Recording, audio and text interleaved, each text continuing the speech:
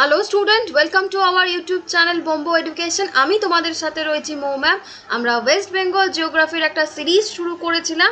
যেই সিরিজে আমি বলেছিলাম যে ওয়েস্ট বেঙ্গলে যে টোটাল তেইশটা জেলা রয়েছে, সেই তেইশটা জেলা নিয়ে সম্পূর্ণ আলোচনা করব এই সিরিজে আমরা অলরেডি ফার্স্ট জেলাটা পড়ে ফেলেছি। আজকে আমরা পড়ব সেকেন্ড জেলা, সেটা হলো দক্ষিণ চব্বিশ পরগনা বা সাউথ চব্বিশ পরগনা।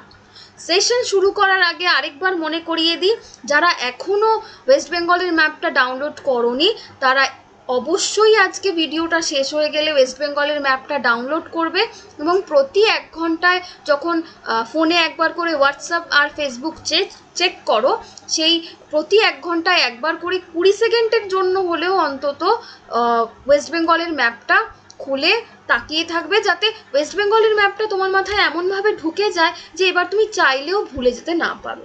তো চলো দেরি না করে শুরু করা যাক আজকের সেশন প্রথমেই আমি দেখিয়ে দেব যে আমাদের ওয়েস্ট বেঙ্গলে যে তেইশটা জেলা রয়েছে, সেই তেইশটা জেলা পশ্চিমবঙ্গের প্রশাসনিক বিভাগ অনুযায়ী কোন বিভাগের আন্ডারে কোন জেলা পড়ে। এই স্লাইডটা কিন্তু আমি প্রত্যেক দিন প্রত্যেকটা জেলা শুরু হওয়ার আগে দেখাবো, যাতে তোমরা ভুলে না যাও যে কোন বিভাগের আন্ডারে কোন জেলা পড়ে এবং প্রত্যেক দিন এই স্লাইডটা দেখাতে দেখাতে তোমাদের যাতে মাথায় পুরো বসে যায় যে কোন বিভাগের আন্ডারে কোন জেলাগুলো পড়ে। প্রেসিডেন্সি বিভাগের আন্ডারে আমাদের পড়ে টোটাল পাঁচটা জেলা। কি কি জেলা? দক্ষিণ চব্বিশ পরগনা, উত্তর চব্বিশ পরগনা, নদিয়া, হাওড়া, কলকাতা মেদিনীপুর বিভাগের আন্ডারে পড়ে পাঁচটা জেলা। পশ্চিম মেদিনীপুর, পূর্ব মেদিনীপুর, বাঁকুড়া, পুরুলিয়া, ঝাড়গ্রাম, বর্ধমান বিভাগের আন্ডারে পড়ে চারটে জেলা। পশ্চিম বর্ধমান, পূর্ব বর্ধমান, বীরভূম, হুগলি, মালদা বিভাগের আন্ডারে পড়ে চারটে জেলা। দক্ষিণ দিনাজপুর, উত্তর দিনাজপুর, মালদা, মুর্শিদাবাদ এবং জলপাইগুড়ি বিভাগের আন্ডারে পড়ে পাঁচটা জেলা। আলিপুর, আলিপুরদুয়ার, কোচবিহার, দার্জিলিং, কালিম্পং এবং জলপাইগুড়ি। নেক্সট দক্ষিণ চব্বিশ পরগনা, গাঙ্গেয় বদ্বীপের দক্ষিণ প্রান্তে অবস্থিত পশ্চিমবঙ্গের একটি জেলা।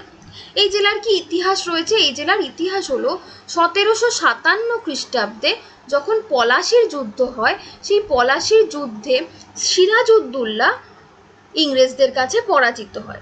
যার ফলে বাংলার নবাব হিসাবে বসে মীর জাফর। এই মীর জাফর সেই সময় বাংলার যে চব্বিশটা এরিয়া নিয়ে তৈরি চব্বিশ পরগনা, এই চব্বিশটা পরগনা বা চব্বিশটা জায়গা ইংরেজদের সিংহাসনে বসে ঘুষ হিসাবে দিয়ে দেয়।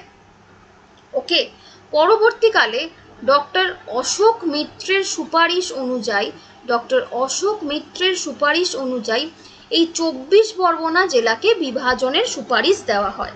এবং ফাইনালি নাইনটিন এইটটি সিক্স এই খ্রিস্টাব্দের পয়লা মার্চ, এই চব্বিশ পরগনা জেলাটাকে উত্তর চব্বিশ পরগনা এবং দক্ষিণ চব্বিশ পরগনা, এই দুটো ভাগে ভাগ করে দেওয়া হয়। এই জেলা আয়তন কত? এই জেলার আয়তন ন হাজার নশো ষাট বর্গ কিলোমিটার এবং আয়তনের দিক থেকে এটি পশ্চিমবঙ্গের সব থেকে বড় জেলা। এই জেলার জনসংখ্যা কত?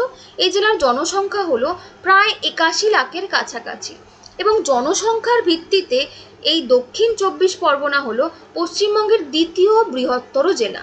প্রথম বৃহত্তর জেলা কোনটা? প্রথম বৃহত্তর জেলা হলো উত্তর চব্বিশ পরগনা। কারণ আমরা আগের দিনই পড়ে এসছি যে এই জেলার জনসংখ্যা প্রায় এক কোটির কাছাকাছি। তাই জনসংখ্যার ভিত্তিতে পশ্চিমবঙ্গের প্রথম বৃহত্তর জেলা হচ্ছে গিয়ে উত্তর চব্বিশ পরগনা এবং দ্বিতীয় বৃহত্তর জেলা হচ্ছে গিয়ে আমাদের দক্ষিণ চব্বিশ পরগনা। ওকে? এই জেলার সদর শহর বা হেডকোয়ার্টার কোথায়? এই জেলার সদর শহর বা হেডকোয়ার্টার হলো আলিপুরে। প্রশাসনিক বিভাগ অনুযায়ী এই জেলা প্রেসিডেন্সি বিভাগের অন্তর্গত। নেক্সট এই জেলার ভৌগোলিক অবস্থানের জন্য আমাদের প্রথমেই যেটা জানতে হবে সেটা হলো অক্ষাংশ এবং দ্রাঘিমাংশের কনসেপ্ট যারা এখনও জানো না যে অক্ষাংশ এবং দ্রাঘিমাংশের কনসেপ্ট কি, তাদের জন্য আমি একটু ডিটেলে ব্যাপারটাকে বলছি। ঠিক আছে? এই ধরো পৃথিবী। পৃথিবীর কেন্দ্র দিয়ে যে রেখাটা গেছে তাকে আমরা বলব নিরক্ষরেখা। এই নিরক্ষরেখার উত্তরে এবং দক্ষিণে এটা হলো উত্তর এবং এটা হলো দক্ষিণ। এই নিরক্ষরেখার উত্তর এবং দক্ষিণে অবস্থিত কোনো স্থানের যদি আমাকে কৌণিক দূরত্ব বার করতে হয়, তখন আমরা যে কাল্পনিক রেখাগুলোকে টানবো, সেই স্থানের কৌণিক দূরত্ব বার করার জন্য সেই স্থানের কৌণিক দূরত্ব বার করার জন্য আমরা যে কাল্পনিক রেখাগুলোকে টানছি, সেই কাল্পনিক রেখাগুলোকে আমরা সেই স্থানের অক্ষাংশ বলব। ঠিক আছে? আরেকবার রিপিট করি। পৃথিবী, পৃথিবীর কেন্দ্র দিয়ে গেছে নিরক্ষরেখা। এই নিরক্ষরেখার উত্তর এবং দক্ষিণে অবস্থিত কোনো স্থানের কৌণিক দূরত্ব যদি আমাকে বের করতে হয় তখন আমি যে কাল্পনিক রেখাগুলোকে টানব, সেই কাল্পনিক রেখাগুলো হলো সেই স্থানের অক্ষাংশ। দক্ষিণ চব্বিশ পরগনা, উত্তরে কুড়ি ডিগ্রি কুড়ি মিনিট উত্তর অক্ষাংশে এবং দক্ষিণে বাইশ ডিগ্রি শূন্য ছয় মিনিট দক্ষিণ অক্ষাংশে অবস্থিত। দ্রাঘিমাংশর কনসেপ্ট কি? দ্রাঘিমাংশের কনসেপ্ট হলো, এই হচ্ছে পৃথিবী। পৃথিবীর একদম মাঝ বরাবর গেছে মূল মধ্যরেখা। এই মূল মধ্যরেখার পূর্ব এবং পশ্চিমে অবস্থিত কোনো স্থানের কৌণিক দূরত্ব যদি আমাকে বার করতে হয়, তখন আমরা যে কাল্পনিক রেখাগুলোকে টানবো, সেই কাল্পনিক রেখাগুলো কে আমরা সেই স্থানের দ্রাঘিমাংশ বলব। আরেকবার বলি, কোনো স্থানের মাঝ বরাবর যদি মূল মধ্যরেখা যায় এবং মূল মধ্যরেখার পূর্ব এবং পশ্চিমে অবস্থিত কোনো স্থানের কৌণিক দূরত্ব যদি আমাকে বার করতে হয়, তখন আমরা যে কাল্পনিক রেখাগুলোকে টানব, সেই কাল্পনিক রেখাগুলো হলো সেই স্থানের দ্রাঘিমাংশ। ঠিক আছে? তাহলে দক্ষিণ চব্বিশ পরগনা কোন দ্রাঘিমাংশ অবস্থিত? পূর্বে অষ্টআশি ডিগ্রি কুড়ি মিনিট পূর্ব দ্রাঘিমাংশ থেকে পশ্চিমে অষ্টআশি পয়েন্ট, অষ্টআশি ডিগ্রি ষাট মিনিট পশ্চিম দ্রাঘিমাংশ পর্যন্ত বিস্তৃত। তো আশা করি অক্ষাংশ এবং দ্রাঘিমাংশের কনসেপ্ট ক্লিয়ার হয়েছে। নেক্সট হচ্ছে গিয়ে এই জেলার সীমানা কত দূর? সীমানা বোঝার জন্য আবারও আমাদের কি করতে হবে? একটা প্লাস সাইন দিয়ে দিতে হবে এবং উত্তর, দক্ষিণ, পূর্ব, পশ্চিম নির্ণয় করে নিতে হবে। উত্তর, দক্ষিণ, পূর্ব এবং পশ্চিম। এবার দেখো এই হচ্ছে গিয়ে আমাদের জেলা দক্ষিণ চব্বিশ পরগনা। দক্ষিণ চব্বিশ পরগনার উত্তরে কি রয়েছে? দক্ষিণ চব্বিশ পরগনা উত্তরে রয়েছে উত্তর চব্বিশ পরগনা এবং কলকাতা। উত্তর চব্বিশ পরগনা এবং কলকাতা লিখে দিয়েছি। দক্ষিণ চব্বিশ পরগনার পূর্ব দিকে কি রয়েছে? দক্ষিণ চব্বিশ পরগনার পূর্ব দিকে রয়েছে বাংলাদেশ। বাংলাদেশ লিখে দিয়েছি। দক্ষিণ চব্বিশ পরগনার পশ্চিমে কি রয়েছে? পশ্চিমে রয়েছে হুগলি। পশ্চিমে রয়েছে হুগলি। এবং দক্ষিণে বা নিচের দিকে কি রয়েছে? নিচের দিকে রয়েছে বে অফ বেঙ্গল বে অফ বেঙ্গল মানে কি? বে অফ বেঙ্গল মানে হচ্ছে গিয়ে আমাদের বঙ্গোপসাগর। তো ম্যাপ যদি একবার মুখস্থ হয়ে যায়, যে কোনো সময়, যে কোনো জেলা দিক, চোখ বুঝে এই উত্তর, দক্ষিণ, পূর্ব, পশ্চিম হিসাবে বের করে দিতে পারবে, ওকে? নেক্সট এই জেলার ভূমিরূপ কেমন? এই জেলা নিম্নগাঙ্গেয় সমভূমিতে নদীবাহিত পলি মাটি দিয়ে গঠিত। এবং নিম্নগাঙ্গেয় সমভূমিতে কি কি বদ্বীপ দেখা যায়? আগের দিন আমি পড়িয়েছি, মৃতপ্রায় বদ্বীপ, পরিণত বদ্বীপ এবং সক্রিয় বদ্বীপ। যারা এখনও বদ্বীপের কনসেপ্ট জানো না, তাদের জন্য আবার একবার রিপিট করি।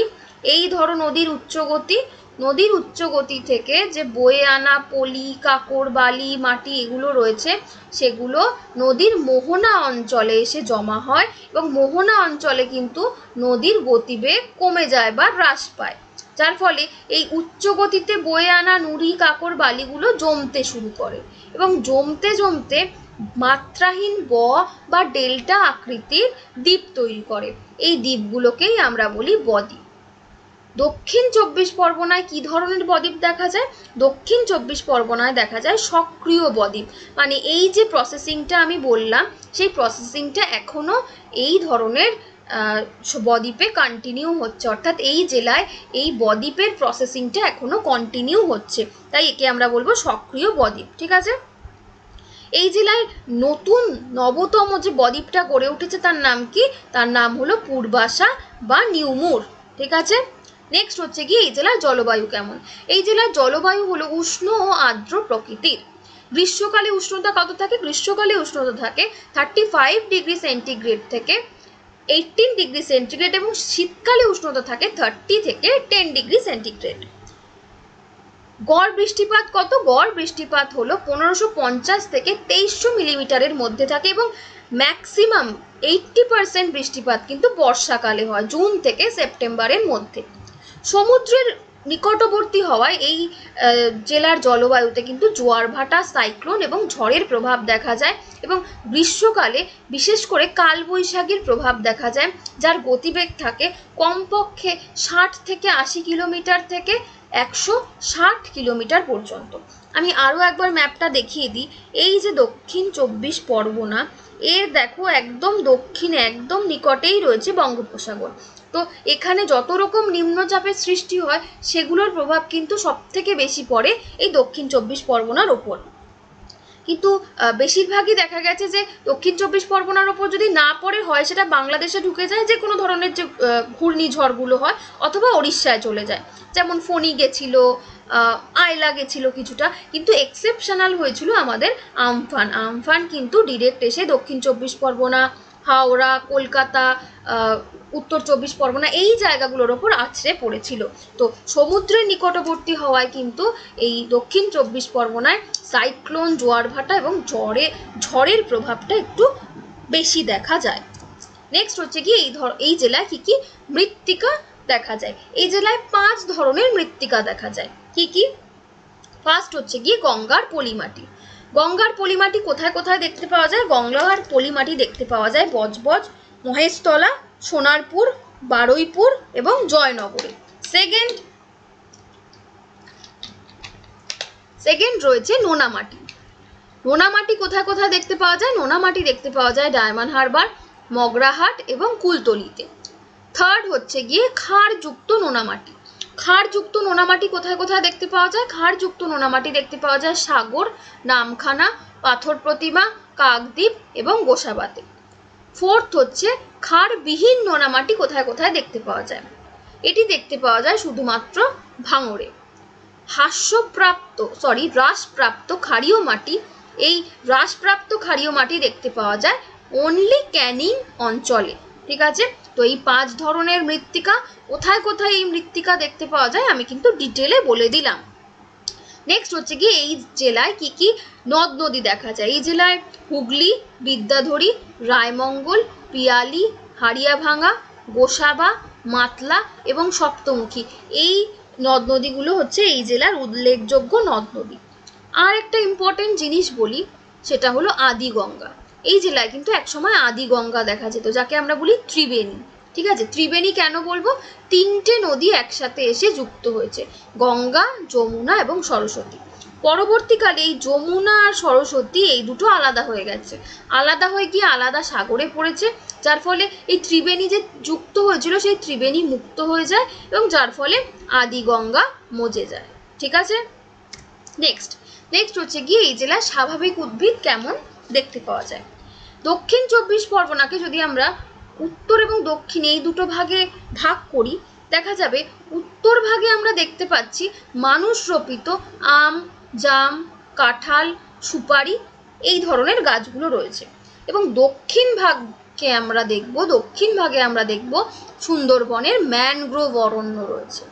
যার ফলে স্বাভাবিক উদ্ভিদ আমরা ক ধরনের দেখতে পাই? স্বাভাবিক উদ্ভিদ আমরা দেখতে পাই চার ধরনের। এক, লবণাক্ত জলের অরণ্য, সেকেন্ড, ম্যানগ্রোভ অরণ্য থার্ড স্বাদু জলের অরণ্য এবং ফোর্থ হচ্ছে গিয়ে মাঝারি লবণাক্ত জলের অরণ্য। ম্যানগ্রোভ অরণ্যকে কিন্তু আমরা আবার দুভাগে ভাগ করতে পারি। এক, মোহনার অরণ্য এবং সেকেন্ড হচ্ছে মোহনা পূর্ববর্তী অরণ্য। ম্যানগ্রোভ অরণ্যে কি কি স্বাভাবিক উদ্ভিদ দেখতে পাওয়া যায়? ম্যানগ্রোভ অরণ্যে স্বাভাবিক উদ্ভিদ দেখতে পাওয়া যায় সুন্দরী, গরান, গেওয়া, হোগলা এবং গোলপাতা। ওকে নেক্সট এই জেলায় কি কি শিল্প কি কি ধরনের শিল্প দেখতে পাওয়া যায়? এই জেলার শিল্পগুলোকে আমরা পাঁচ ভাগে ভাগ করতে পারি। ফার্স্ট ভাগে বৃহৎ এবং মাঝারি আয়তনের শিল্প। এই শিল্পের মধ্যে কি কি পড়ে? পাট, তুলো, রবারজাত দ্রব্য, কাগজজাত দ্রব্য, বোতল জার, ওষুধ শিল্প, রাসায়নিক শিল্প এবং ইঞ্জিনিয়ারিং শিল্প। সেকেন্ড, ক্ষুদ্র আকৃতির শিল্পের মধ্যে কি দেখতে পাই? ক্ষুদ্র আকৃতির শিল্পের মধ্যে দেখতে পাই চর্মজাত দ্রব্য, মোমবাতি তৈরি পাটজাত দ্রব্য, রঙের ব্রাশ, লোহার তার এবং স্কেল। থার্ড, খাদি ও গ্রামীণ শিল্পের মধ্যে কি দেখতে পাওয়া যায়? তালের গুড়। এই তালের গুড় কোথায় কোথায় দেখতে পাওয়া যায়? কুলপি, নামখানা, ক্যানিং এবং বিষ্ণুপুরে। মৌমাছি প্রতিপালন কোথায় কোথায় দেখতে পাওয়া যায়? গোসাবা, বাসন্তী এবং কুলপিতে। ছাতা পাওয়া যায় মথুরাপুর এবং মন্দির বাজারে সেলাই, সেলাইকে মেইন শিল্প হিসাবে নির্ভর করে কোন কোন জায়গা শিল্প গড়ে উঠেছে সেগুলো হলো সাগর, নামখানা, কাকদ্বীপ এবং পাথর প্রতিমা। তাল পাতার পাখা পাওয়া যায় বজবজ এবং ডায়মন্ড হারবারে ফোর্থ হস্তশিল্প। হস্তশিল্পের মধ্যে কি কি রয়েছে? হস্তশিল্পের মধ্যে রয়েছে বাঁশ এবং বেতের কাজ, যেটি দেখতে পাওয়া যায় বারুইপুর এবং রায়পুরে। রূপোর কাজ দেখতে পাওয়া যায় মগরাহাটে। এমব্রয়ডারি, অ্যাপ্লিক এই ধরনের কাজগুলো দেখতে পাওয়া যায় গড়িয়া, বেহালা, বজবজ এবং ক্যানিংয়ে। এছাড়াও বাটিক প্রিন্ট মাটির পুতুল, খেলনা, মাদুর এগুলোও কিন্তু আমাদের হস্তশিল্পের আন্ডারে পড়ছে। ফিফথ, হস্তচালিত তাঁত শিল্প এর আন্ডারে কি কি পড়ে? এর আন্ডারে পড়ে শাড়ি, গামছা এবং ধুতি। নেক্সট, কৃষিকাজ। এই এই জেলায় কি কি কৃষি উৎ- কি কি চাষবাস হয়। ফার্স্ট হয় হচ্ছে গিয়ে ধান। এবং ধান শস্য, তৈলবীজ, গম এবং অন্যান্য খাদ্যশস্য, দুধ এবং ডিম। গবেষণা কেন্দ্র। এই জায়গাটা কিন্তু খুব ইম্পর্টেন্ট এই জায়গাটা খুব ভালো করে মুখস্থ করতে হবে রিটেন পরীক্ষার জন্য এবং ইন্টারভিউয়ের জন্য। ফার্স্ট হচ্ছে গিয়ে কৃষি প্রযুক্তি সহায়ক কেন্দ্র কোথায় রয়েছে? কৃষি প্রযুক্তি সহায়ক কেন্দ্র রয়েছে আমাদের নরেন্দ্রপুরে। পশ্চিমবঙ্গের বীজ নির্গমনের শাখা রয়েছে ডায়মন্ড হারবারে। কৃষি বিজ্ঞান কেন্দ্র গড়ে উঠেছে নিমপিট এবং কাকদ্বীপে। কেন্দ্রীয় মৎস্য কেন্দ্র এবং চিংড়ি কেন্দ্র গড়ে উঠেছে কাকদ্বীপে। লবণাক্ত জলে, লবণাক্ত জমিতে ধান চাষের গবেষণা কেন্দ্র গড়ে উঠেছে গোসাবাতে এবং কেন্দ্রীয় লবণাক্ত জমিতে কি করে ফসল ফলানো যায়, সেই গবেষণা কেন্দ্র রয়েছে আমাদের ক্যানিংয়ে, ঠিক আছে? তো এই রিসার্চ সেন্টার বা গবেষণা কেন্দ্রগুলো খুব ভালো করে মনে রাখতে হবে। নেক্সট হচ্ছে গিয়ে এই জেলায় কী কী শিল্পাঞ্চল গড়ে উঠেছে, কোন কোন জেলায়, কোন কোন অঞ্চলে শিল্পাঞ্চল গড়ে উঠেছে, সেই জায়গাগুলো দেখে নিই। এক হচ্ছে বারুইপুর, ফলতা, ক্যানিং, সোনারপুর, গড়িয়া, জোকা, বজবজ এবং ডায়মন্ড হারবার। স্বাস্থ্য ব্যবস্থা, শিক্ষা এবং ব্যাংকিং ব্যবস্থা, এই জায়গাগুলো কিন্তু আমাদের রিটেন এক্সামের জন্য ইম্পর্টেন্ট নয়। রিটেন এক্সামের জন্য আমরা এই ইনফরমেশানগুলো মুখস্থ করব না। আমরা এই ইনফরমেশানগুলো মুখস্থ করব ইন্টারভিউয়ের জন্য। ঠিক আছে? ইন্টারভিউয়ের জন্য আমরা এই ইনফরমেশনগুলো মুখস্থ করব। কোথা থেকে মুখস্থ করব? ওয়েস্ট বেঙ্গলের আপডেটেড ওয়েবসাইট থেকে। এই ওয়েবসাইট এবং এই পুরো যে পড়াচ্ছি তার পিডিএফ লিঙ্ক কিন্তু আমি আমার টেলিগ্রাম চ্যানেলে দিয়ে দিই। তোমাদের যাদের প্রয়োজন তারা আমার টেলিগ্রাম চ্যানেলে জয়েন করে যেতে পারো। তাই এইখানে এখন আমি যে ইনফরমেশনগুলো দিয়েছি সেগুলো দু হাজার দু হাজার তেরো এবং চোদ্দের এই সালের ওপর ভিত্তি করে। কিন্তু তোমরা যখন ইন্টারভিউ দিতে যাবে, তখন কিন্তু আপডেটেড ওয়েবসাইট দেখে আপডেটেড যে টাইমিংগুলো বলছি বা নাম্বারগুলো বলছি, সেগুলো কিন্তু দেখে যেতে হবে। তো এই জায়গাটাকে আমি স্কিপ করছি। পরিবহন ব্যবস্থা কি কি রয়েছে? পরিবহন ব্যবস্থার মধ্যে সড়ক পথ রয়েছে এনএইচ টুয়েলভ এবং এসএইচ ওয়ান এনএইচ মানে হচ্ছে ন্যাশনাল হাইওয়ে বা জাতীয় সড়ক এবং এসএইচ বা স্টেট হাইওয়ে বা রাজ্যের সড়ক, ঠিক আছে? রেলপথ ইস্টার্ন রেলওয়ে রয়েছে, আমরা সবাই জানি এটা, এবং রয়েছে মেট্রো রেলপথ মেট্রো রেলপথের মধ্যে রয়েছে টালিগঞ্জ এবং গড়িয়া। ব্যাংকিং ব্যবস্থা ক- কি ব্যাংকিং রয়েছে? কমার্শিয়াল ব্যাংক রয়েছে, গ্রামীণ ব্যাংক রয়েছে কোঅপারেটিভ ব্যাংক রয়েছে, এবং ইম্পর্টেন্ট যেটা পড়তে হবে পিএলডিবি এটা কি? পিএলডিবির ফুল ফর্ম হচ্ছে গিয়ে প্রাইমারি ল্যান্ড ডেভেলপমেন্ট ব্যাংক অর্থাৎ ল্যান্ড ডেভেলপমেন্টের জন্য আমরা যে লোন নিই, সেই লোন কিন্তু আমাদের এই পিএলডিবি ব্রাঞ্চ থেকে পাওয়া যায়। দক্ষিণ দক্ষিণ চব্বিশ পরগনায় কিন্তু এই পিএলডিবির নখানা শাখা রয়েছে। নেক্সট হচ্ছে কি এই জেলার ইম্পর্টেন্ট বন্দর বা পোর্ট কোনগুলো? ইম্পর্টেন্ট বন্দর বা পোর্ট রয়েছে এখানে কুলপি এবং ডায়মন্ড হারবারে। নেক্সট হচ্ছে কি স্পেশাল ইকোনমিক জোন এই জায়গাটা আবার খুব important special economic zone S EZ বা বিশেষ অর্থনৈতিক অঞ্চল। এই জিনিসটা কি আগে বলি? আমাদের অর্থনৈতিক ব্যবস্থার উন্নতির জন্য, দেশের অর্থনৈতিক ব্যবস্থার উন্নতির জন্য কিছু স্পেশাল ইকোনমিক জোন বা বিশেষ অর্থনীতি পূর্ণ অঞ্চলকে সিলেক্ট করা হয়েছে। যেখানকার বিজনেস পলিসি বা ব্যবসার পলিসি বাকি যে বিজনেস পলিসি সেগুলোর রুলস এবং রেগুলেশনের থেকে কিন্তু সামান্য আলাদা। কারণ সেই বিজনেসের ওপর কিন্তু পুরো দেশের, পুরো কান্ট্রির ইকোনমিটা বেশ কিছুটা নির্ভর করে। তো এই স্পেশাল ইকোনমিক জোনগুলো কিন্তু প্রত্যেকটা ডিস্ট্রিক্টের বর্ডার এরিয়াগুলোতে বানানো হয়। প্রত্যেকটা কান্ট্রির বর্ডার এরিয়াগুলোতে বানানো হয়। তো আমাদের দক্ষিণ চব্বিশ পরগনায় কিন্তু এই স্পেশাল ইকোনমিক জোন রয়েছে। কোন কোন জায়গায় রয়েছে? ফলতা এবং বানতলাতে রয়েছে। বিদ্যুৎ কেন্দ্র কোথায় কোথায় রয়েছে? বজবজে রয়েছে। প্রচলিত তাপবিদ্যুৎ কেন্দ্র। সুন্দরবনে রয়েছে অপ্রচলিত বিদ্যুৎ কেন্দ্র। সৌর বিদ্যুৎ বায়ুশক্তি এবং জোয়ার ভাটা শক্তি এই দুটোকে কাজে লাগিয়েও কিন্তু আমাদের বিদ্যুৎ শক্তি কেন্দ্র বা বিদ্যুৎ কেন্দ্র বিদ্যুৎ উৎপন্ন করার চেষ্টা চালিয়ে যাওয়া হচ্ছে। নেক্সট হচ্ছে গিয়ে কি কি অভয়ারণ্য রয়েছে? অভয়ারণ্য রয়েছে সজনেখালিতে কি কি দেখতে পাওয়া যায়? চিতল হরিণ, সাধারণ গোসাপ, কুমির, বাঘ এবং পাখি। লথিয়াল দ্বীপে রয়েছে চিতল হরিণ, বানর, বনবিড়াল, সামুদ্রিক করি সামুদ্রিক কুমির এবং শীতের পরিযায়ী পাখি। শীতের পরিযায়ী পাখি কিন্তু লথিয়াল দ্বীপের অন্যতম আকর্ষণ। হ্যালডে দ্বীপ হ্যালডে দ্বীপে কি রয়েছে? হ্যালডে দ্বীপে রয়েছে চিতল হরিণ হরিণ, বাঘ এবং বন্য বরাহ বন্য বরাহ হচ্ছে হ্যালিডে দ্বীপের অন্যতম আকর্ষণ। ভগবতপুরে কি রয়েছে? ভগবতপুরে রয়েছে কুমির প্রকল্প। এটাও খুব ইম্পর্টেন্ট নরেন্দ্রপুরে বন্যপ্রাণী অভয়ারণ্য রয়েছে। এই জায়গাটা, যারা নরেন্দ্রপুর এবং সোনাইপুরের কাছাকাছি থাকো, তারা নিশ্চয়ই জানো যে নরেন্দ্রপুর বন্যপ্রাণী অভয়ারণ্যর একটা নাম রয়েছে, সেটা হলো চিন্তামণিকর পাখিরালয়, ঠিক আছে? আশা করি যারা এই জায়গায় থাকো, তারা জানো। নেক্সট হচ্ছে গিয়ে বিশ্বের জীব বৈচিত্র্য ক্ষেত্র বা ওয়ার্ল্ড হেরিটেজ সাইট হিসাবে কিন্তু সুন্দরবনকে ঘোষিত করা হয়েছে। কত সালে হয়েছে? নাইনটিন এইটটি সেভেনে সুন্দরবনকে ওয়ার্ল্ড হেরিটেজ সাইট হিসাবে ঘোষিত করা হয়। বিশ্বের জৈব বৈচিত্র্য ক্ষেত্র।